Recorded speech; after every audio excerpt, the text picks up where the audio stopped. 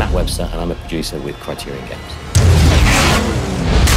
Autolog is a suite of connected features that allow players to connect, compare, and compete with their friends in Need for Speed Hot Pursuit.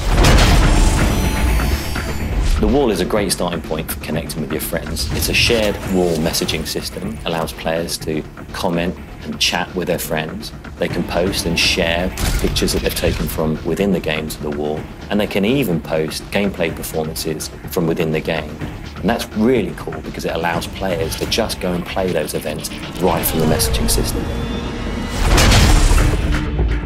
So Autolog constantly listens for what's going on inside the Need for Speed Hot Pursuit network.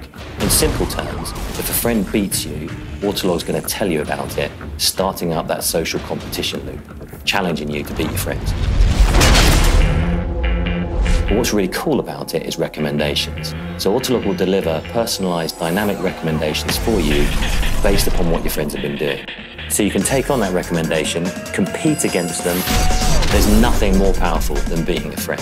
And it's going to change the way you play Need for Speed Hot Pursuit with your friends.